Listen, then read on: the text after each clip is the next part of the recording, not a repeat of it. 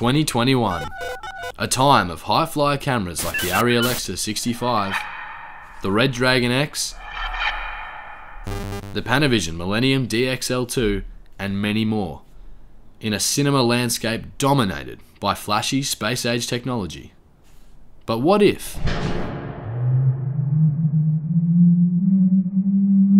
What if there was a camera that came before? What if there was a camera of yesterday whose ruggedness and refusal to conform made it an outlier, but also potentially the greatest of all time? I'm Yags, And I'm Boggaz. and today we're going to figure out if the Samurai KX Video 8 camcorder is still relevant in 2021. We're going to be putting it through its paces, putting it up against the big names and testing its image, durability, low light performance, and resolving power. And at the end, we're going to evaluate whether it's worth buying in 2021 if you want to create beautiful cinematic images. Well, Yags, where should we begin? I reckon we should do some image tests. For this test, we put the Samurai against the Red. For fairness, we've made this a blind test, so you can decide for yourself which footage you prefer, if you can even tell the difference. We've labelled each piece of footage A and B, and we'll tell you at the end which is which. And just a note to avoid bias, each piece of footage has been left ungraded.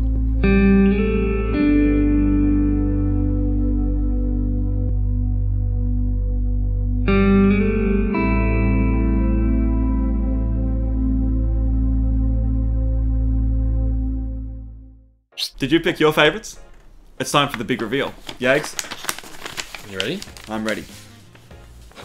Camera A was the Red. Wow, so camera B was the samurai. It was. Wow, you know, even though I had a hand in putting together that footage, it still surprises me, seeing them side by side, how well the samurai holds up after all these years. You're not wrong. But before we go calling it, should we do some technical tests? I think we should. Should we try against the Arri this time? Sounds good. First up, sharpness. On one hand, we've got the Alexa 65 with its 54 by 25 millimeter, 6560 by 3102 pixel ARRI A3X CMOS sensor, designed to have medium format Hasselblad inspired glass put in front of it. And on the other hand, we have the Samurai, with its classic and timeless 4x3mm CCD sensor designed to work with the custom versatile zoom lens conveniently housed within the body of the camera, which is a feature not commonly seen on the cinema cameras of today. Right, here we see the Alexa honing in on the target, uh, some color fringing there, a little bit of aberrations, but this might just be the difference between it winning the battle or the Samurai coming out on top. And here we have the Samurai. Just brilliant. Unrivaled sharpness in its time and still just impeccable. It's a close call. Maybe we should let you guys at home decide for yourselves. And now time for some low light tests, to see how far the image can be pushed before it begins to fall apart. We'll pit the Samurai against the Panavision this time. With the Panavision's native ISO of 1600, this beast is designed with challenging low light scenarios in mind. And here it is. Impressive, but a touch noisy in the shadows if you zoom into 1000%, which is quite disappointing. Let's have a look at the Samurai. Gorgeous. True to life. You can make out some artifacts here, but I mean you really have to pixel peep. On the surface, this shot is just sublime.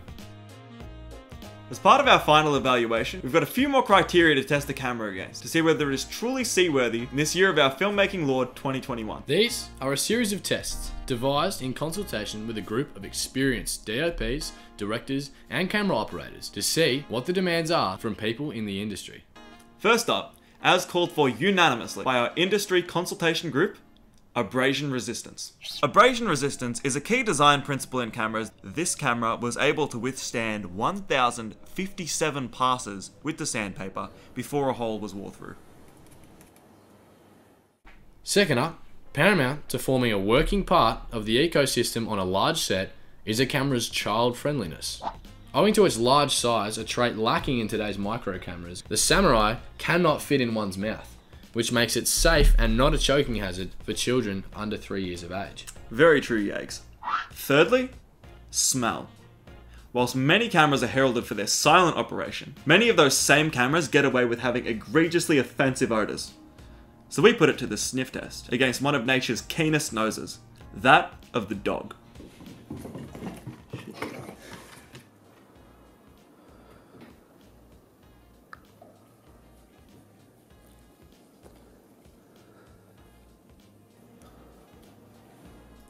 Fourthly, the DOPs in particular, amongst those we consulted, made it a point to tell us very emphatically that one of the most critical traits a camera needs to have is good mouthfeel.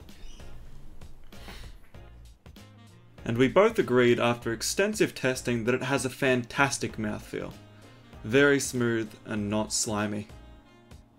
And penultimately, the industry group told us that the second most important trait a camera can have is its atmosphere. That's right. The power the camera has. Its raw aura.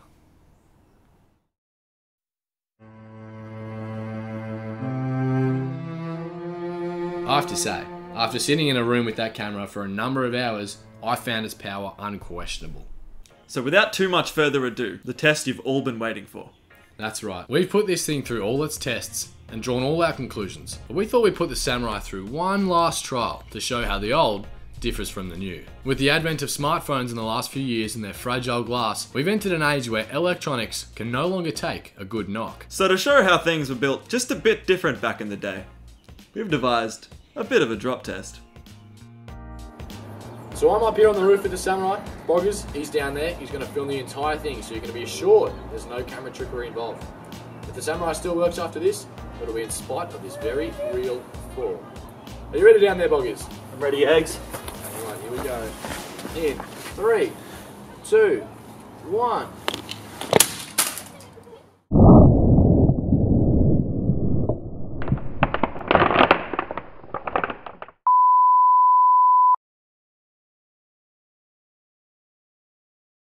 Same cameras get away with having egregiously offensive odors.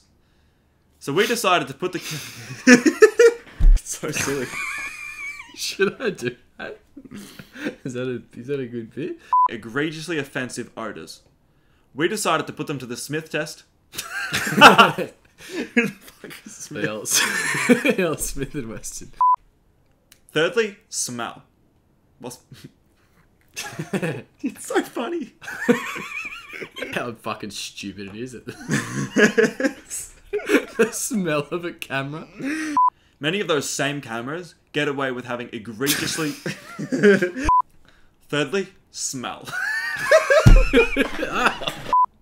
Third. Sorry. Thirdly, smell. Are you just so excited? If I get one out, I'll be impressed. Thirdly, many of those same cameras get away with having egregiously offensive odors. Fuck. you didn't do the sticky stick. Because I was loading up. Fucking hell. oh, stick stick. I'm getting this. I'm not leaving until we get a sticky tape.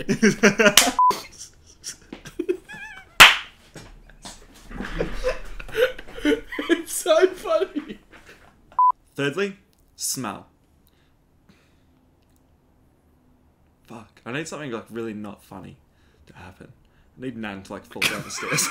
That'd be hilarious. What do you mean? Ah, alright, go. Angus, come out the please. my femur sticking out the, through my hip. Not now, not now. I'm filming.